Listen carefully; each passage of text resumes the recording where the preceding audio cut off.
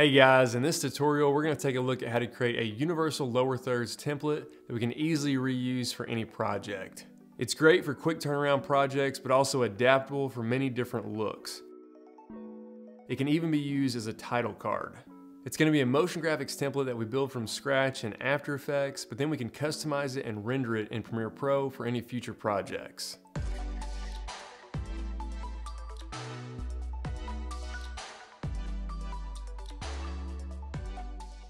All right guys, so our goal is to have a universal lower thirds template that we can easily reuse for any project.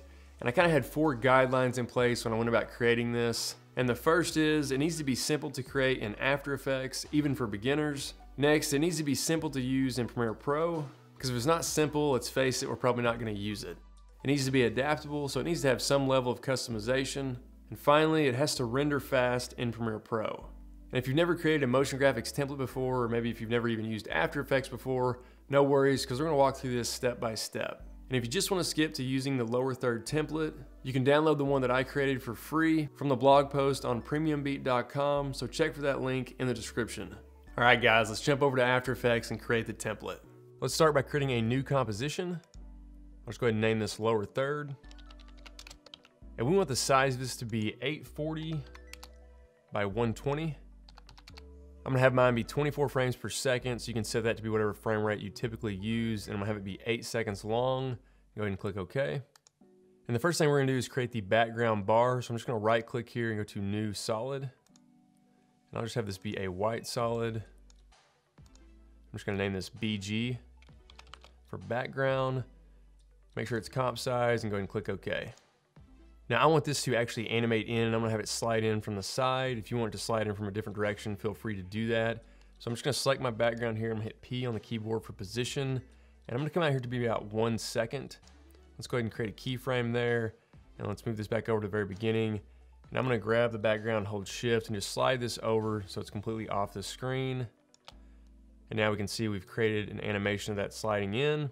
Now I want this to be a little smoother. So I'm gonna select this last keyframe and hit F9. That's gonna make that an easy ease keyframe. And with it still selected, I'm gonna click on the graph editor right here and we can see we have this curve. Let's just grab this last point and pull it all the way over. And when we let go of that, and look at this, it'll create a nice smooth animation. Go ahead and RAM preview this. So it kind of comes in and ends smoothly.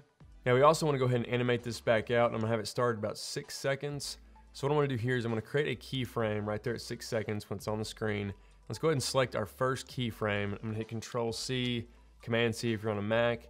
And let's move over here to seven seconds and just do Control V to paste that or Command V to paste on a Mac. And now we can see we've just pasted back in that beginning point. So now we have a nice animating out.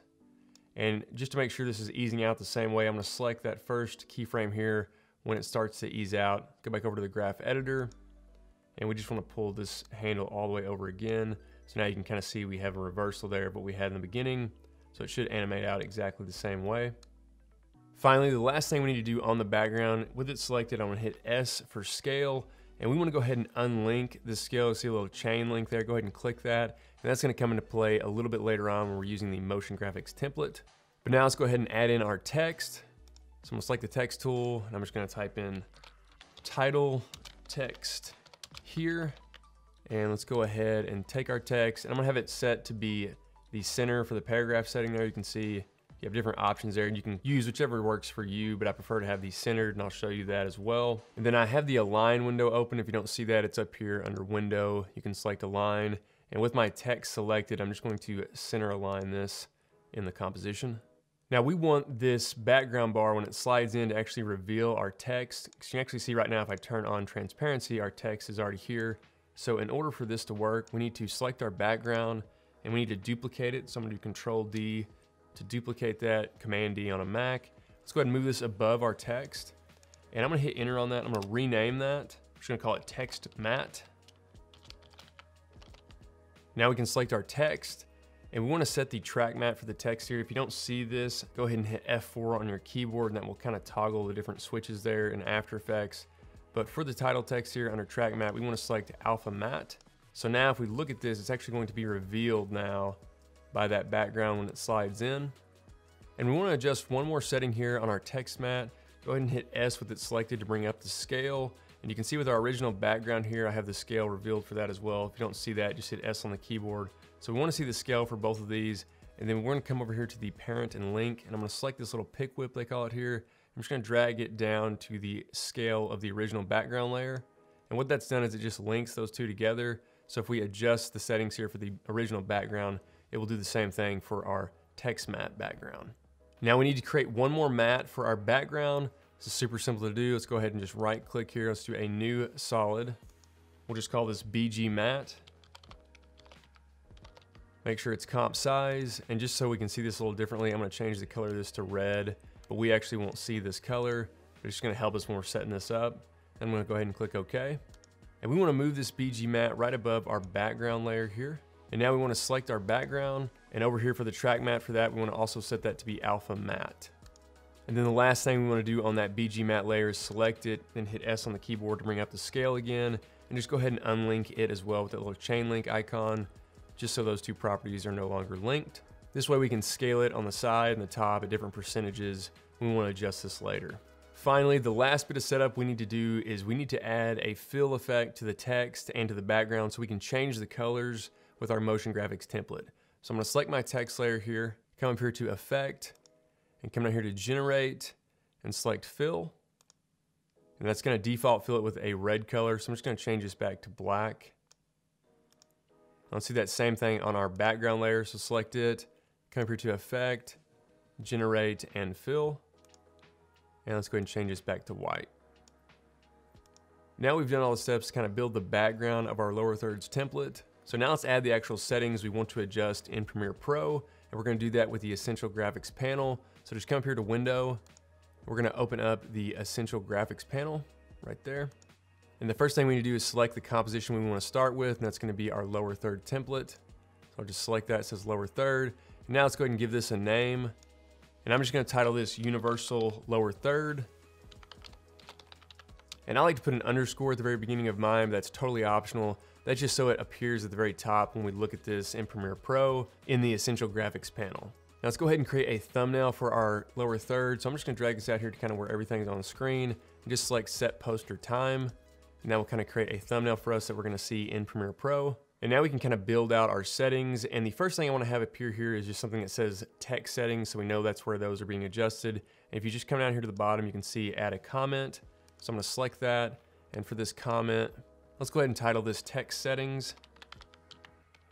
And now if we come over here, we can see all of the properties that we can add to this panel and customize if we just click this solo supported properties. So when I click that, you'll see it opens up all of these different options for us down here that we can actually drag and drop into that essential graphics panel. And because we're working with the text settings first, we're gonna start with our title text. So you can see that there. And the first thing we wanna drag up here is this setting that says source text. So just grab it and drag and drop it here into the essential graphics panel. And we can rename what this setting is. I'll just call it text. And then we can customize the text here if we want to. I'm gonna leave it as is for now. We come over here to edit properties. And we wanna go ahead and check on all three of these for font properties here. This is just so we can customize a little bit more in Premiere Pro. Then go ahead and click OK. You can see we get all those customized options that popped up here as well. The next option we wanna add up here is the text position. So I'm gonna scroll down here and under transform here for our text, we're gonna grab that position and just drag and drop that in. We can just leave that named as the default for position. And then finally, we wanna add in that color here. You can see the effect under fill. We wanna select that color and drag that in as well. This will allow us to change the color of our text in Premiere Pro. Now let's go ahead and start adding our box settings. And before we do that, I'm gonna add a comment here and I'll just call this box settings. And now let's start dragging and dropping in some of the box settings we have. So for our background layer, the bottom layer here, first setting I wanna add is the color. So we have the fill effect. Let's just drag and drop that in. Next, under the transform settings, I wanna select opacity. I'm just gonna drag and drop that in. And this will allow us to actually adjust the opacity of our background. You can see, go ahead and toggle off transparency there. And we can do all of this from inside of Premiere Pro. Next, we wanna select the scale here. Just drag and drop that in. And then finally, the last setting we wanna add in here is actually on our background matte layer. So we have the scale option there. We wanna select the scale for that one and drag and drop it in. And I'm just gonna rename this one just so I don't get confused because we have two different scales here. I'm just gonna call this our box clip. And let me just show you guys why we're actually adding this to our motion graphics template.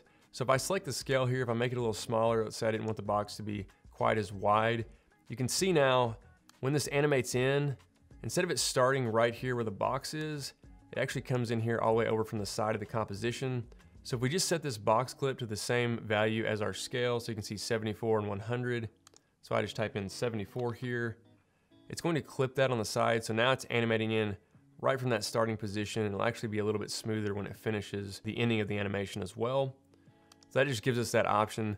I'm gonna set these back to be 100 for each of these, but it's a nice option that we'll have in Premiere Pro when we export this.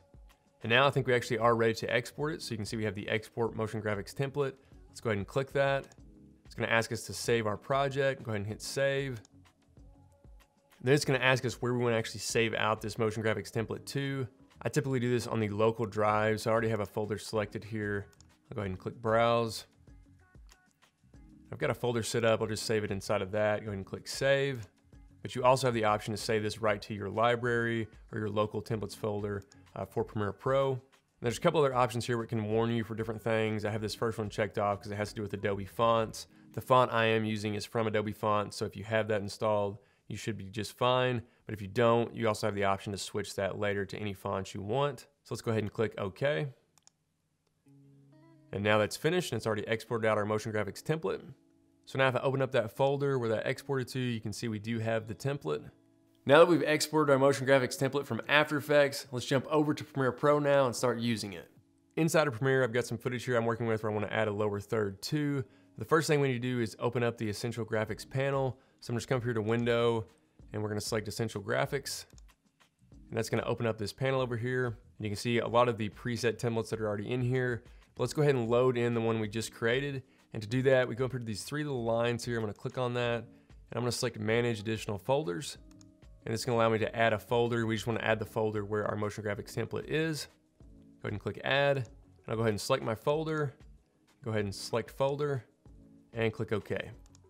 And now in here, we can actually see our universal lower third has been loaded into the Essential Graphics panel. And you can see we have that same thumbnail that we set in After Effects. I'm just gonna drag this over a little bit resize some of these panels here.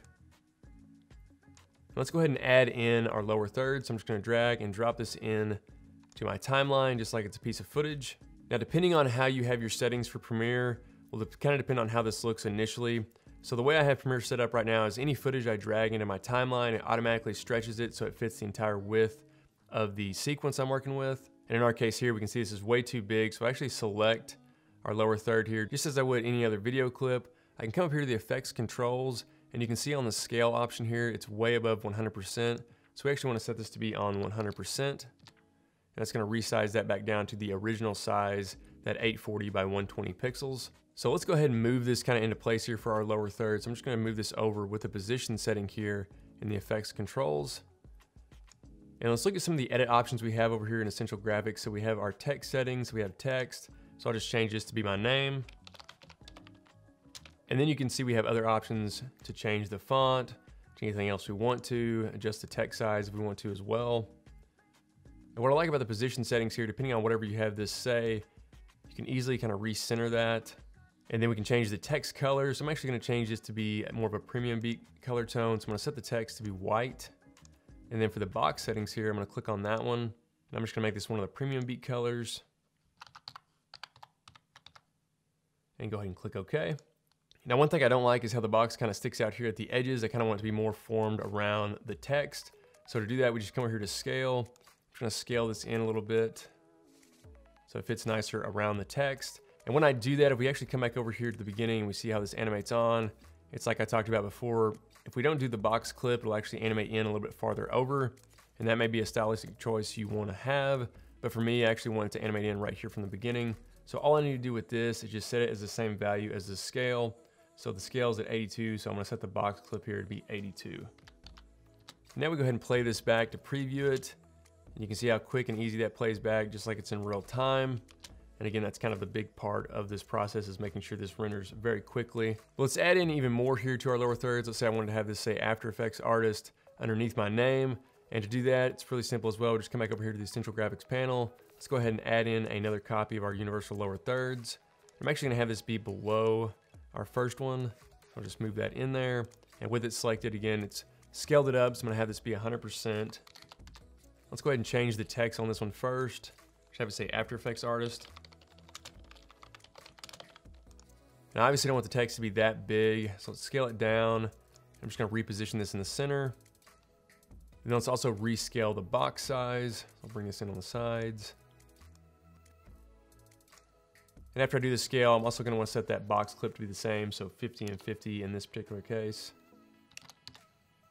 So let's come back over here to the effects controls and reposition that secondary title. I'm just gonna move this over. And I'm gonna have it be a little bit offset, kind of staggered there, and we can see how this animates in now. Something else we can do is actually offset the timing of that secondary title. So I'm just gonna move it over just a little bit. And now when we play this back, we get the titles offsetting a little bit, so it looks pretty nice. So let's say we showed this to our client and they like the colors we got going on, but they don't like the box background. So let's take a look at how quickly we can change this up just right here in Premiere. So I'm gonna select my secondary text here for the After Effects artist. Let's say I wanna have that be the premium beat color now. So I'll just come over here and select the text color. And I'm just gonna pick that off of that background for our original title. Let's go ahead and select the box opacity here. Let's turn that all the way down. And let's come up here to my main lower thirds where my name is. And we'll just leave that at white. Let's go ahead and just turn the box opacity for that all the way off. So now you can see we have a totally different look here for our lower thirds. I'll play this back. All from the same template. And finally with this, we can see my clip here actually isn't as long as our lower thirds. So these actually animate out a lot later than the clip actually ends. And an easy way we can fix this so they animate out is just using the razor tool. So I can select that here, just hit C on the keyboard for the shortcut. And I'm just gonna clip both of these. And then we know these animate out at about one second when this ends. So I'm gonna come back over here. What I'm gonna do is just use the razor tool to cut both of those again there. Let's just delete the center part here. And then I'm gonna select both of these and just drag them over. So now they connect. So now they should animate in and then animate right back out. And something else I could do just to kind of be creative here with this at the ending, let's say I didn't want them to stagger out at the end, I'll just drag this one over so they're both lined up and just pull that back over.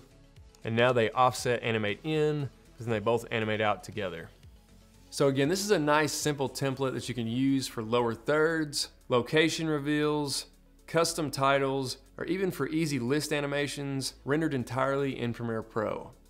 Alright guys, hopefully you enjoyed this tutorial. Give us a thumbs up if you did. I'm Charles and I'll catch you guys in the next one.